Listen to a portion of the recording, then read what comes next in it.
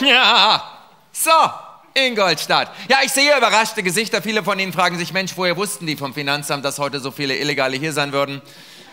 Nun, wir haben einen anonymen Tipp erhalten von einer Person, die wir natürlich aus Datenschutzgründen nur Mr. X nennen dürfen. In Wirklichkeit können Sie sich wahrscheinlich denken, heißt diese Person nicht Mr. X. In Wirklichkeit handelt es um nicht an Thomas Marquardt. Heute ist er hier. Marquardt, schön, dass Sie kommen konnten. Schauen Sie sich mal um, das ist quasi Ihre Beute hier heute Abend. Wie sieht es aus? Schaffen Sie es allein nach Hause? Benötigen Sie Begleitschutz? Ja, Begleitschutz. Begleitschutz, ne? Ja, neue Identität, neuer Bart, Toupet. Gut, das Toupet haben Sie ja schon, ne? Neue blauhaarige Freundin. Also wir organisieren da alles für Sie, ja? Wie wäre es, wenn Sie sich mal richtig freuen, wenn ich komme?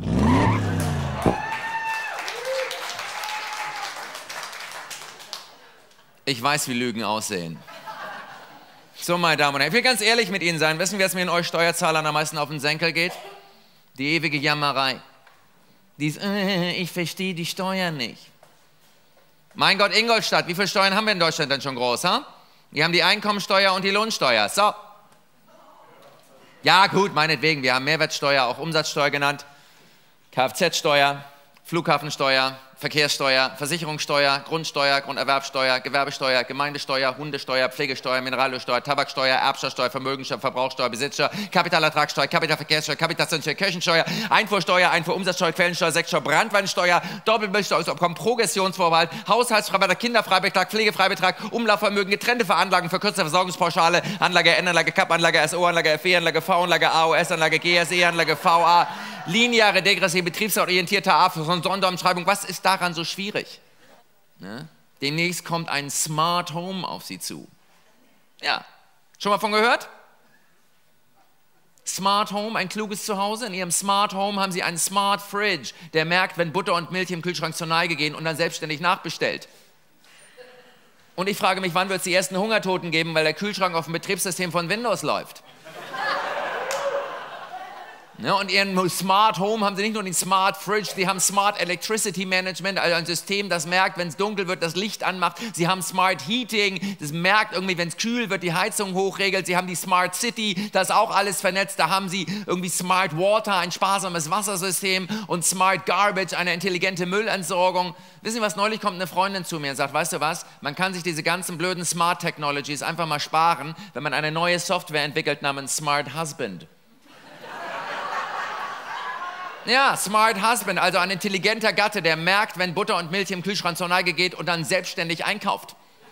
Smart Husband merkt, wenn es dunkel wird, macht das Licht an, merkt, wenn es kühl wird, macht die Heizung an, bringt auch mal den Müll runter und spart Wasser. Und das schönste Smart Husband ist zu 100% biologisch abbaubar. Na, und dann künstliche Intelligenz, da frage ich mich, was soll der Scheiß? Ich meine, ist die Menschheit überhaupt schon bereit für künstliche Intelligenz, wo natürliche Intelligenz noch dermaßen in den Kinderschuhen steckt? Und erste Dinge sind ja auch schiefgelaufen. Ne? Frühe Versuche, künstliche Intelligenz mit Bioprinting und einem Toupet zu kombinieren, scheiterten. Der Prototyp floh aus dem Labor und ist heute Präsident der Vereinigten Staaten.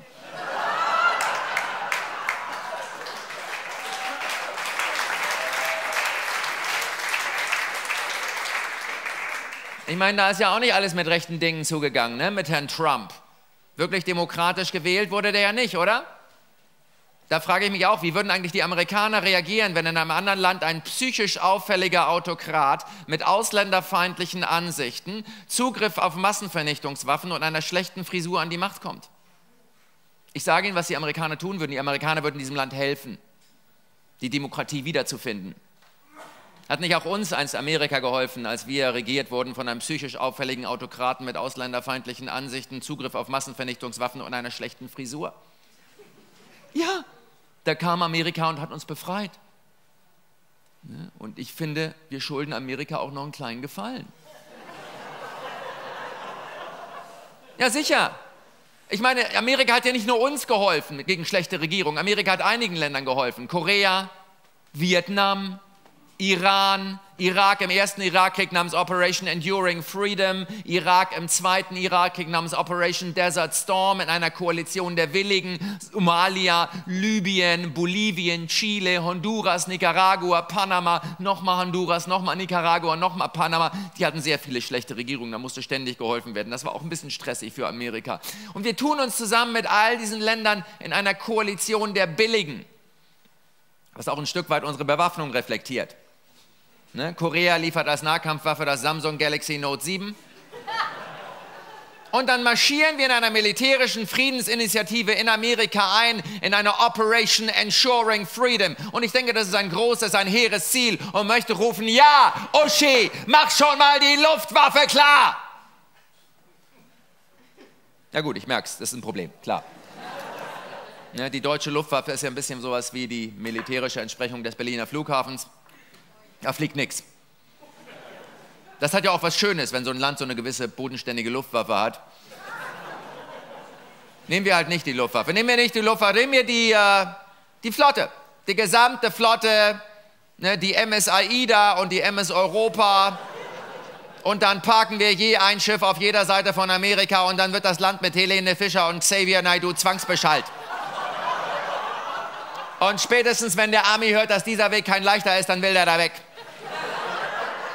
Aber wo kann er denn noch hin? Ne? Im Süden ist da eine undurchdringliche Mauer, im Norden undurchdringliche Wälder und französisch sprechende Cowboys. Und dann springt der Army frustriert ins Meer, schwimmt zu unseren Schiffen, wird gerettet direkt ans Buffet in einer Operation Dessert Storm. So wird es sein, meine Damen und Herren. Dankeschön. So, gibt es irgendwas zu saufen hier? Ja. Nein, nein, nein.